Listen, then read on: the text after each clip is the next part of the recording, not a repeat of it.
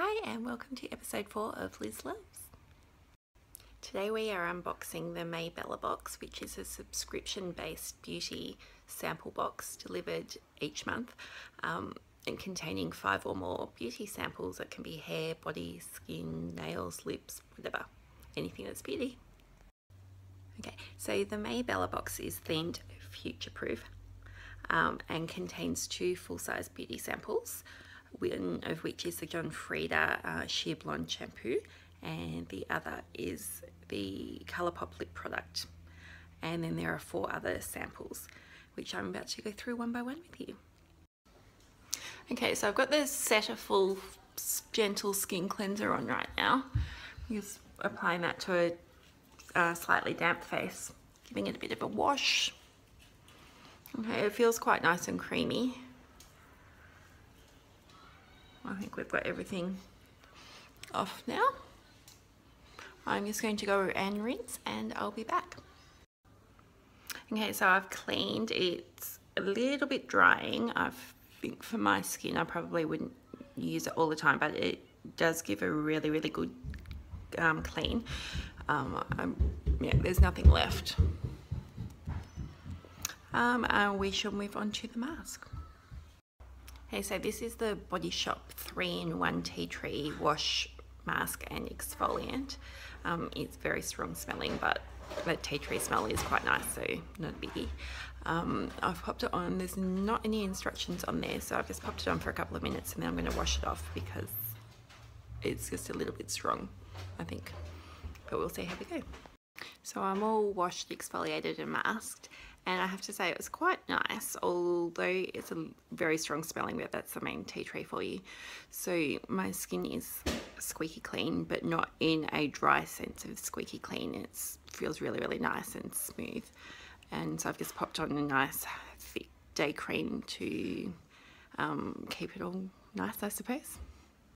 Okay so now all my face bits are done. I'm about to jump in the shower with this which is prep it's a Chinese medicine based rice soak and scrub, which um, I think it's predominantly supposed to be for the bath, but I don't do baths, I do showers. So I'm using it as a scrub. I will let you know how we go. Okay, so this is the prep soak scrub whatever. Um, I've just popped it in a little bowl, mixed it with, up with some water because I'm going to pop it on and then hop into the shower after a few minutes. Um, it smells absolutely amazing. It smells like ginger. So I've gone from tea tree to ginger. I'm just going to be smelling amazing. So I'm just smelling like a little gingerbread person at the moment. Um, I've just decided I'll leave it on for, I don't know, three, four minutes and then I'm going to jump in the shower and scrub it off and hopefully be all smooth and lovely. Okay, so there's a lot of noise in the background, so you're just going to have to bear with me. I should have done this while hubby was out on his bike this morning. Instead, I um, waited too long and now he's making coffee, the kids are yelling, and I'm hiding in the bedroom trying to get this done quickly without too much noise, but it's not working. Anywho, uh, so I'm out of the shower and having used that beautiful scrub soak, whatever, and loved it. My skin feels really, really nice and smooth. And yes, my shower is obviously a little bit hot, that's why I'm red. Um, but it's really really lovely and I can't wait to use it again. Okay, so now that I'm all washed, scrubbed, masked, scrubbed again, um, I'm just going to quickly show you the remaining products that were in the box.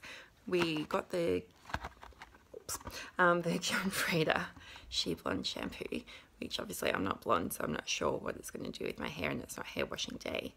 Um, so I will keep you updated, but I'm assuming it will just give my hair a little bit of brightness, maybe pick up like highlights or something. Don't know, he's hoping. Um, we got the Bronze Goddess perfume by Estee Lauder, which is just simply amazing and takes over from one of their old Tom Ford ones, which I think they kind of stopped when he left. Um, but this one is back and it's very, very similar and it's amazing. And I just love it. And then we got the Colourpop this one which is a little bit too pale for me. Um, I have put it on like just a tiny bit and sort of blotted it and whatnot. So it's not too bad and I'll probably be able to wear it over other colours. But it does have great staying power because it was a little bit hard to get off. and it's really nice consistency. So have a look out for Colourpop because apparently it's really cult like and awesome.